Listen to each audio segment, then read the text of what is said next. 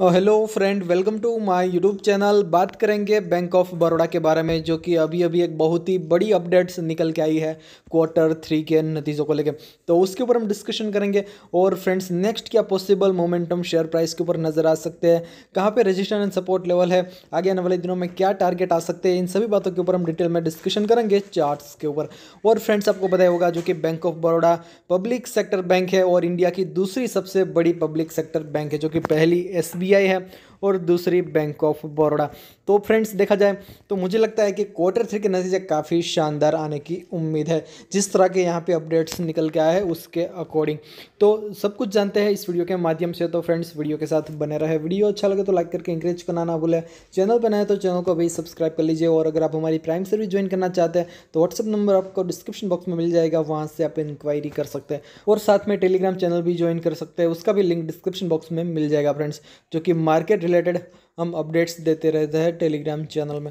और जो खबर निकल के आई है, वो फ्रेंड्स खबर आप लोगों के सामने है। हम मनी कंट्रोल की वेबसाइट के ऊपर आया है और जैसा कि फ्रेंड्स आप देख सकते हैं bank of Baroda quarter three में तकरीबन नेट प्रॉफिट जो दर्ज कर सकता है, वो फिफ्टी सेवन परसेंट का नेट प्रॉफिट आने की उम्मीद है, तकरीबन सोलह सौ इकहत्तर करोड़ का। तो यहाँ पे एक बहुत ही बड़ा रिपोर्ट सबमिट हुआ है मोतीलाल ओसवाल की ओर से फ्रेंड्स बैंक ऑफ़ बड़ौदा के ऊपर। तो मैं पेज को थोड़ा स्क्रॉल करना चाहूँगा और जैसा कि फ्रेंड्स यहाँ पे आप देख सकते हैं। नेट प्रॉफिट की बात करें इस बार क्वार्टर थ्री में तो यहाँ पे जैसा मैंने आपको बताया, सोलह सौ इकहत्तर करोड़ का नेट प्रॉफिट आ सकता है। यानी ईयर वन ईयर बेसिस पे फिफ्टी सेवन परसेंट का growth and quarter and quarter basis पे देखें तो ट्वेंटी परसेंट का यहाँ पे डाउन साइड यानी फ्रेंड्स छोटी अवधि में यहाँ पे डिक्लाइन नेट प्रॉफिट आने की उम्मीद है, लेकिन बट लंबी अवधि में काफ़ी बढ़िया यहाँ पे हमें ग्रोथ देखने को मिल रहा है ईयर वन ईयर बेसिस पे। और अगर हम नेट इंटरेस्ट इनकम की बात करें तो तकरीबन ईयर वन ईयर बेसिस पे 5.1 परसेंट का इजाफा नेट इंटरेस्ट इनकम में नज़र आ सकता है। लेकिन क्वार्टर एंड क्वार्टर बेसिस पे देखें तो 3.9 परसेंट का जम नज़र आ सकता है, तकरीबन सात हज़ार आठ सौ सत्तावन करोड़। और अगर हम प्री प्रोविजनिंग प्रॉफिट की बात करें तो यहाँ पर आप देख सकते हैं, तकरीबन थ्री परसेंट का ईयर वन ईयर बेसिस पे ग्रोथ देखने को मिल सकता है। And quarter and quarter basis पे देखें तो सेवन पॉइंट फोर परसेंट के यहाँ पे डाउन प्री प्रोविजनिंग नज़र आ सकते हैं, तकरीबन पाँच हज़ार दो सौ बावन करोड़ का। तो ओवरऑल फ्रेंड्स यहाँ पे हमें समझ में आ, ये आ रहा है कि छोटी अवधि में यहाँ पे इतना ज़्यादा ग्रोथ देखने को नहीं मिल रहा है क्वार्टर एंड क्वार्टर बेसिस पे। लेकिन लंबी विधि में देखें तो काफ़ी ज़बरदस्त ग्रोथ देखने को मिल रहा है बैंक ऑफ़ बड़ौदा के। तो लंबी विधि का व्यू रखेंगे फ्रेंड्स आप तो आपको काफ़ी बड़े मुनाफे बैंक ऑफ़ बड़ौदा दिखा सकता है आगे आने वाले दिनों में।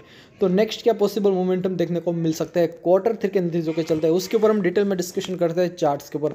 उससे पहले आज के कारोबार की सिचुएशन के ऊपर एक नज़र करें फ्रेंड्स तो जैसा कि आप देख सकते हैं, आज हमें दो परसेंट से भी ज़्यादा की तेज़ी के साथ क्लोजिंग देखने को मिली, जो कि प्रीवियस क्लोजिंग हुई थी, चौरासी रुपये नब्बे पैसे पे ओपनिंग हुई थी, तिरासी रुपये पैंतालीस पैसे पे। हाई बनाया सतासी रुपये तीस पैसे का लो देखने को मिला, जहाँ पे ओपनिंग वहाँ पे लो, और फाइनली क्लोजिंग हमें डेढ़ रुपये से भी ज़्यादा की बढ़ोतरी के साथ क्लोजिंग नज़र आई।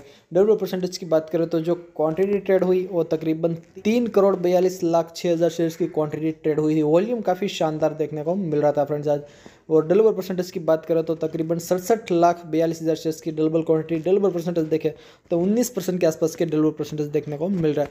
तो कारोबार का सिचुएशन तो ओवरऑल देखें तो ठीक ठाक ही देखने को मिल रहा है फ्रेंड्स चार्ट्स के ऊपर एक नज़र कर लेते हैं। तो जैसा कि फ्रेंड्स आप देख सकते हैं बैंक ऑफ़ बड़ौदा का चार्ट मैंने डेली टाइम फ्रेम पे ओपन किया है और यहाँ पे कुछ लाइनें भी ड्रॉ करके रखी है, जो कि हमें पिछले दिनों काफ़ी बड़ी ग्राउट देखने को मिली थी। एक सौ से स्टॉक्स तकरीबन इठोतेर रुपये तक लुढ़कता हुआ नज़र आया था और यहाँ से हमें फिर से तेज़ी की क्यों देखने को मिल रही है? क्योंकि फ्रेंड्स, आप देख सकते हैं, पिछले दिनों हमें तकरीबन अस्सी रुपये के आसपास से ही काफ़ी शानदार तेज़ी देखने को मिली और एक सौ तक के मोमेंटम देखने को मिले हैं। यानी काफ़ी स्ट्रॉन्ग बाइंग हुई थी फ्रेंड्स अस्सी से।